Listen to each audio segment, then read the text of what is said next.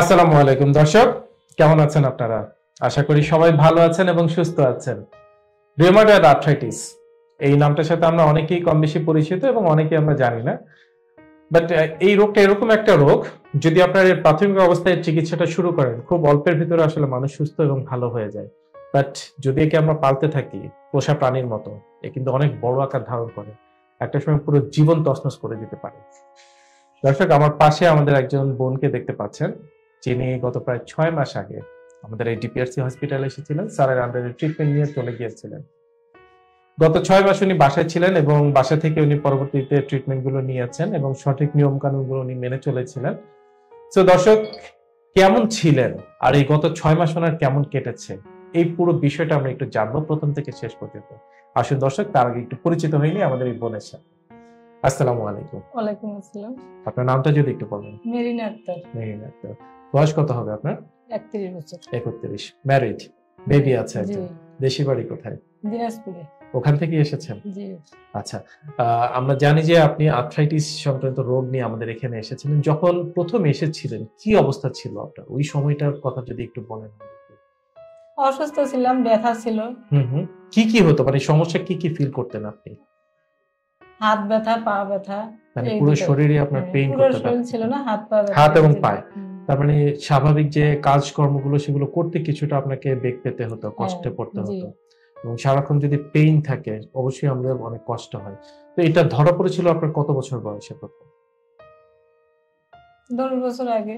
এখন থেকে প্রায় দশ বছর আগে। তখন থেকে বুঝতে শুরু করে যে ব্যথা এবং এর জন্য চিকিৎসা করতে থাকে তো এই যে রিমোটেড আর্থ্রাইটিস এটা আপনি বুঝতে মানে ডক্টর আপনাকে বলেছিল কতদিন আগে? মানে বুঝতে শুরু করেছেন কবে থেকে? ওই আর নয় দশ বছর আগেই হবে। মানে যখন ব্যথা তখনই সেটা ধরা পড়ে এবং তখন থেকে চিকিৎসা করেন। জি।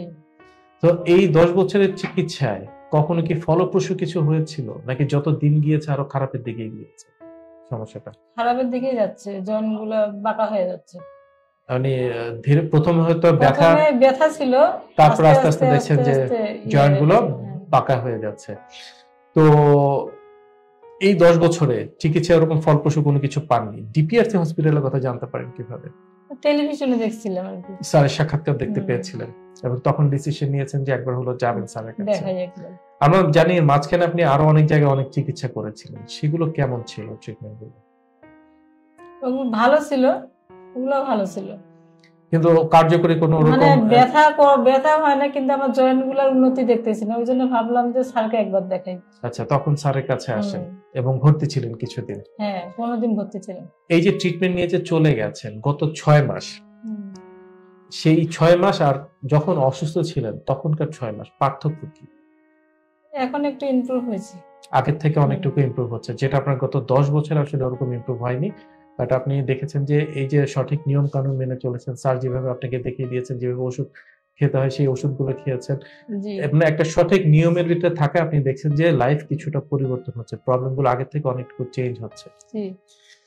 আচ্ছা তো অসংখ্য মানুষ আছেন আমাদের দেশে বলেন বা দেশের বাইরে এরকম অনেক মানুষ আছে যারা আপনার এই ধরনের রোগে ভুগছে তাদের জন্য আপনি উপদেশমূলক ভাবে কিছু বলবেন?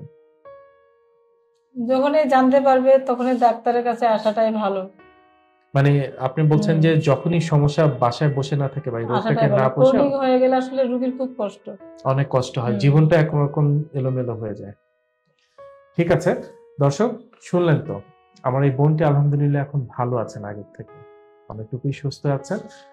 তারপর ওনার চিকিৎসা এখনও চলছে। আজকে উনি এসেছেন স্যারের কাছে। প্রায় ছয় মাস পরে স্যারের সাথে দেখা করার জন্য। তো দোয়া করবেন আমার এই বোনটির জন্য যাতে উনি সম্পূর্ণরূপে সুস্থ হয়ে আবারও আপনাদের সামনে ফিরে আসতে পারেন সম্পূর্ণ ভালো থাকেন। আমরা দোয়া করব আপনাদের ভিতর যদি এরকম কেউ থাকেন অসুস্থ থাকেন দীর্ঘদিন যাবত আমার এই বোনটি যেটা বলেছেন যে যখনই সমস্যা তখনই আসলে বিশেষজ্ঞের পরামর্শ নিতে হবে তবেই আসলে সুস্থ থাকা সম্ভব। ভালো থাকবেন সুস্থ থাকবেন। আসসালামু আলাইকুম। আপনাকে অসংখ্য ধন্যবাদ বোন। আসসালামু আলাইকুম। ওয়ালাইকুম আসসালাম আপনাকেও ধন্যবাদ। আমরা জানি আপনার প্রিয়জন আপনার জন্য কতটা গুরুত্ব বহন করে। প্রপার ডায়াগনোসিস কনসালটেশন পেইন ও প্যারালাইসিস চিকিৎসা পুনর্বাসন আমাদের সব আয়োজনই সবসময় আপনাদের জন্য চব্বিশ ঘণ্টা খোলা। আমরা চাই না আপনারা বারবার আমাদের কাছে ফিরে আসুন তবুও আমরা আছি সব সময় সর্বদা আপনাদের পাশেই। ডিপিআরসি হসপিটাল লিমিটেড আস্থা বিশ্বাস ও নির্ভরতায় অবিচল।